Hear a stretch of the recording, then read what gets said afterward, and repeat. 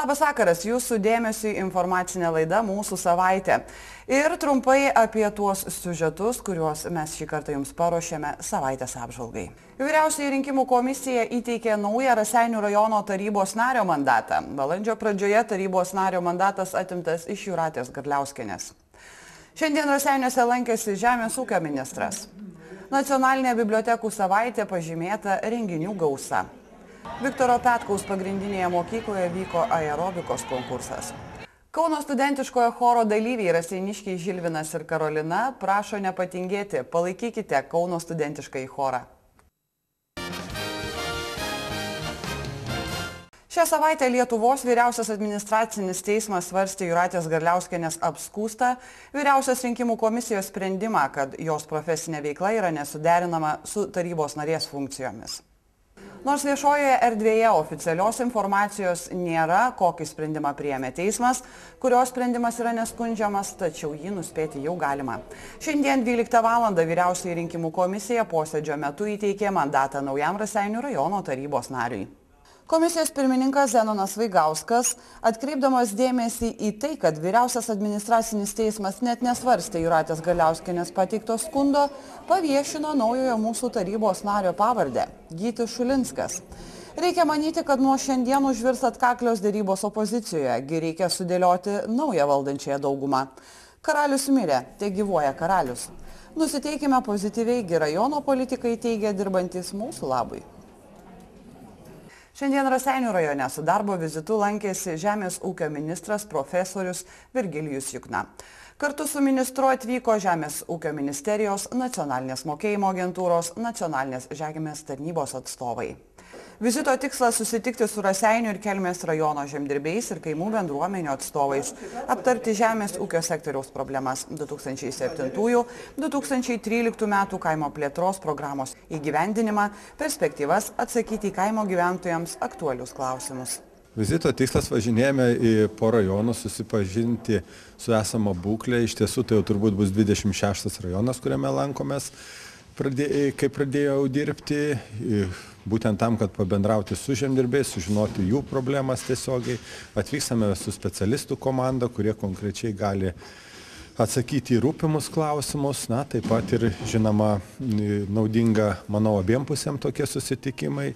Ir, ir mūsų specialistam, ir man pačiam, ir ūkininkai turi galimybę įsiaiškinti tiesiogiai pačias aktualiausias naujienas, klausimus rūpimus ir taip toliau. Ministrė, kuom, kuom kvepuoja ūkininkai? Galų galia dažnai labai viešoje erdvėje pasirodo, kad mūsų žmonės yra pikti, yra nepatenkinti išmokomis galiojančią tvarką Lietuvoje. Na, nepasakyčiau, kad pikti. Galbūt, aišku, tų problemų yra visur. Kai kur gal tikrai, kai kuriem trūksta to optimizmo, bet žinoma, nėra lengva, yra sunki ta dalė žemdirbių ir mes tą puikiai suprantame darome ką galime. Deja aišku ne viską galima padaryti taip kaip norėtumėm padaryt kadangi vis dėlto esame europos sąjungos sąjungoje kur daugelį dalykų reglamentuoja europos įvairūs teisės aktai reglamentai kurie kartais atrodo ir nė nėra tiesiogiai visiškai palankūs mum tai bandom mes ir derėtis ir ieškoti tų tinkamiausių išeičių tačiau reikia suprasti kad ne viską galime ir pasiekti be abejo yra tobulintinų dalykų ir lietuvos teisyne ir taip toliau tai šitą darome stengiamės galimai greičiau padaryt bet kaip minėjau ne viskas taip per kelis mėnesius įmanoma padaryt.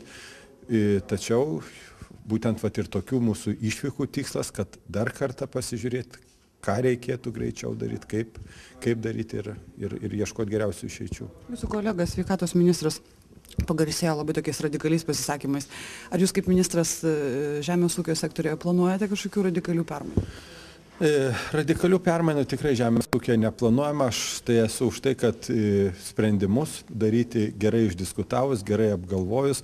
Kai kur gal aišku, kitose srityse yra ir radikalesnių pokyčių, kur reikia, aš nenorėčiau komentuoti, bet tiesiog kalbant apie žemės ūkį, manau svarbu labai pastovumas aiškumas ir kokybiški priimti sprendimai o ne tai kad skubiai priimti po to kuriuos reikia taisyt Šią savaitę prasidėjo 13-oji nacionalinė bibliotekų savaitė.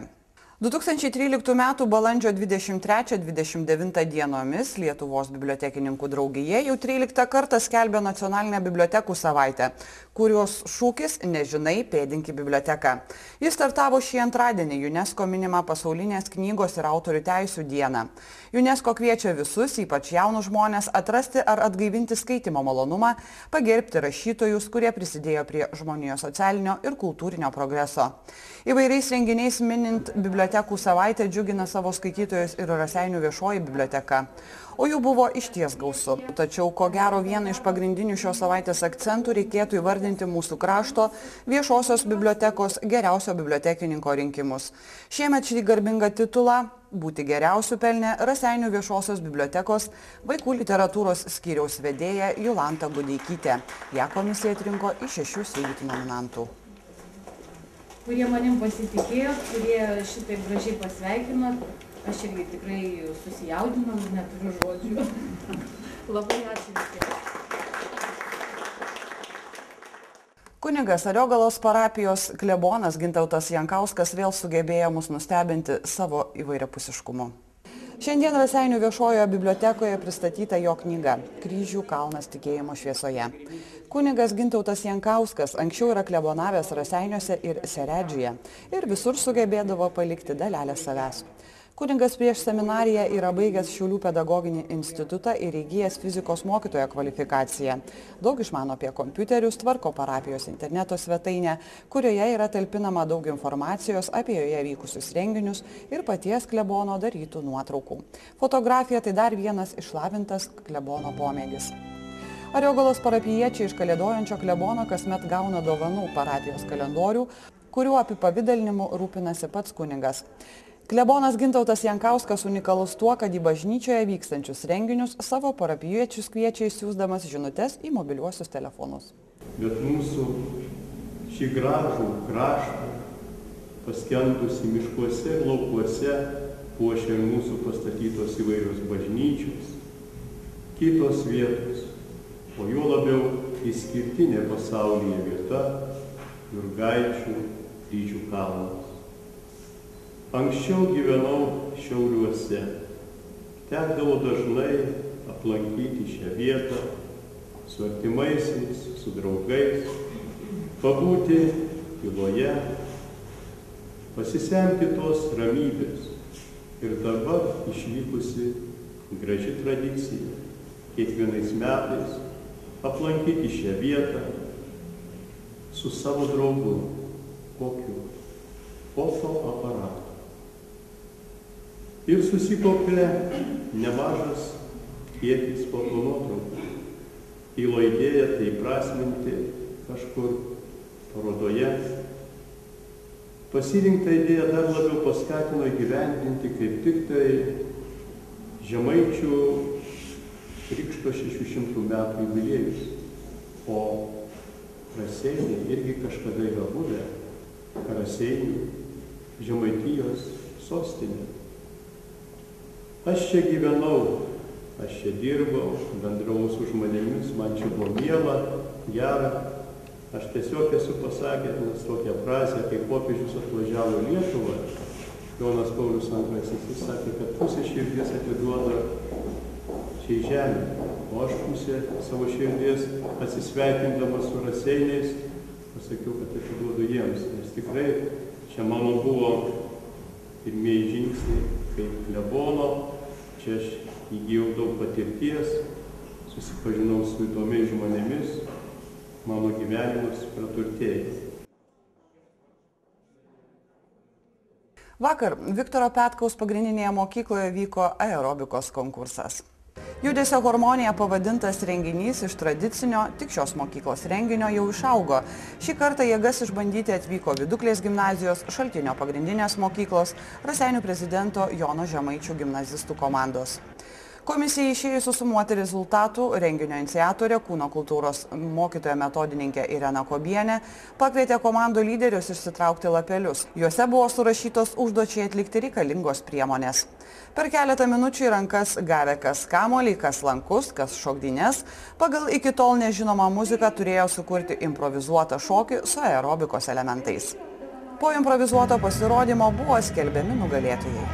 Kelinta vieta. Trečia. Džiaugiatės? Taip. Taip. Ar daug dirbat? Taip, kiekvieną dieną. Nuo rugsėjo jūs taip sąžiningai sportuojate. Taip, taip.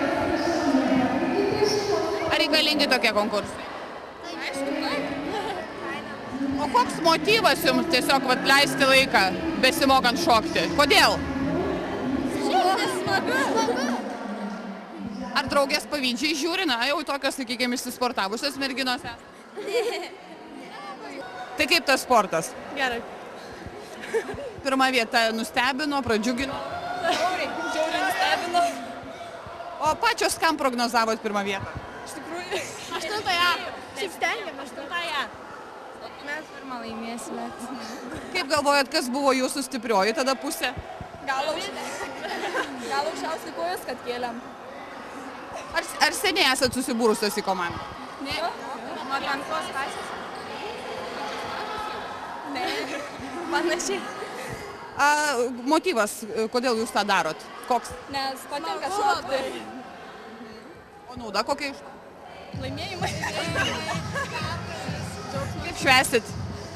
Nežinau. Sugalvosim. A, Deja, deja, net neturiu duomenų, kada mes jį pradėjome. Mes tiesiog pradėjom netikėtai, net negalvojau, kad šita šventė virs šitokia masinė. Pri, prijungsim daugiau mokyklų, ne tik savo mokykloje darysime tarp savo komandų. Todėl iš tiesų tai net negaliu pasakyti, bet labai labai seniai. Iš tikrųjų, arti, arti 15. Gal. Kuom keičiasi šokiai, aerobiniai šokiai ir, ir, ir kaip keičiasi jauni žmonės?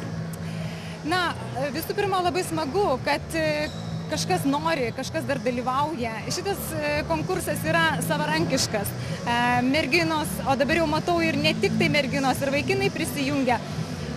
Tiesiog gaunasi gal paprasčiau, bet daro daugiau šokio judesių atsiranda, nesportinių, galbūt daugiau gatvės judesių yra, bet tai yra gražu.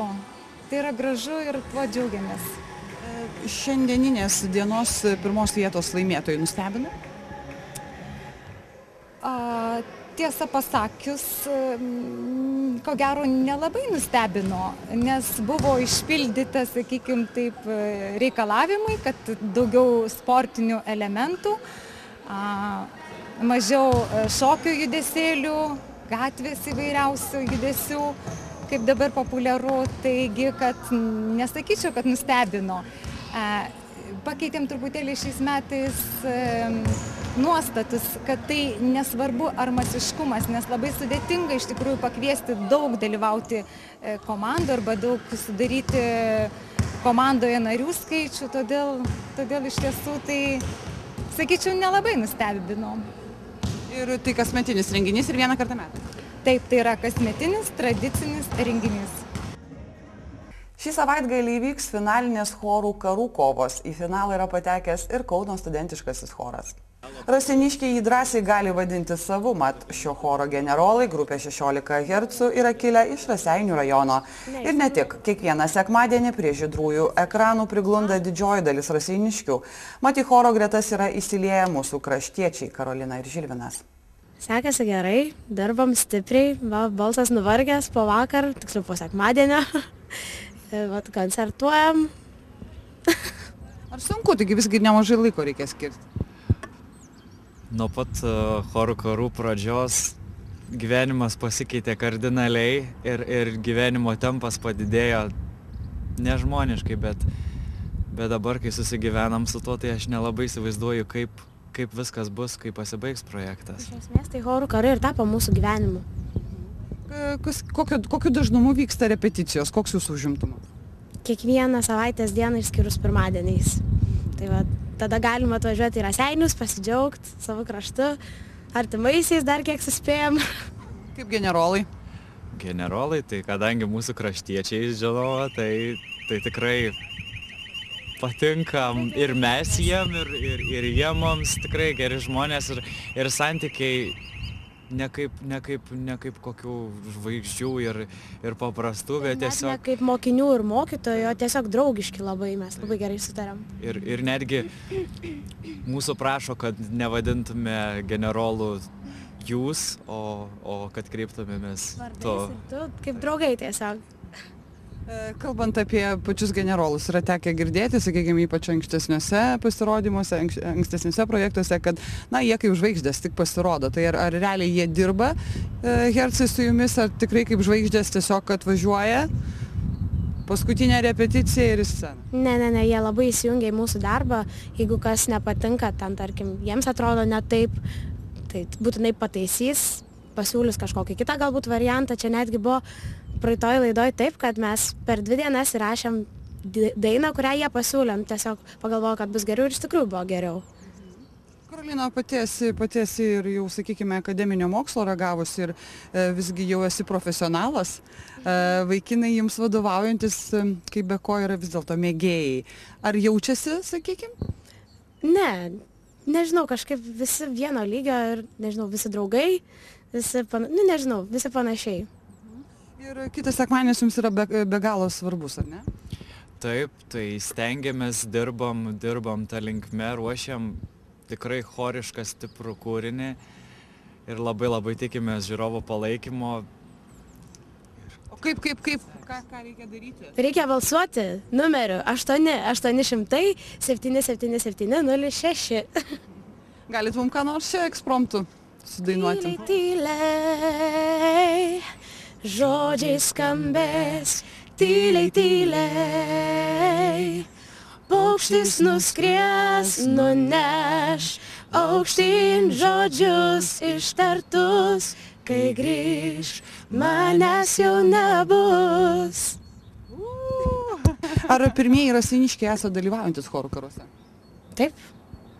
taip į, į atranką tai žinom kad keliavo trys rasiniškiai tai mes ir dar viena panelė bet kaip bebūtų keista mes jau iš labai senų laikų draugai ir ir pasisekė abiem patekt O, taip. o šiaip iš viso buvo pats keisčiausias dalykas kad e, aš iš dviejų šimtų dalyvių atrankoj pasirodžiau penktas karolina šimtas šešiasdešim Penkta. kažkelinta ir aš net nenutuokiau kad jinai eina į atranką Aš net ir, neįsivaizdavau. ir, ir Buvo tiktais- taip gera jį pamatyti, kad jis atrankoje ir chore. Ir mm, ar yra, sakykime, susitarimas, kažkoks pasižadėjimas, kas bus, jeigu Kauno choras laimės? Taip, mes pasižadėjom ir dabar šią savaitę turėtų jau būti filmukas YouTube'ai e, su pažadais visų choristų. Aš pasižadėjau tokį dalyką, kad jeigu Kaunas laimės, tai Laisvės alėjai pabučiuosiu šimtą nepažįstamų vaikinų. Nežinau, kaip tai gyveninsi, bet jeigu laimėsim, tai tikrai tai padarysiu. mano šiek tiek rimtesnis, rimtesnis dalykas, tai aš pasižadėjau per ateinantį koncertą pirmąją eilį, pirmoje eilė stovinčiam paneliam padovanot gėlių. Kaip gražu. Dėkojame uždėmesi, tikimės, kad liksite su Raseinių krašto televizija.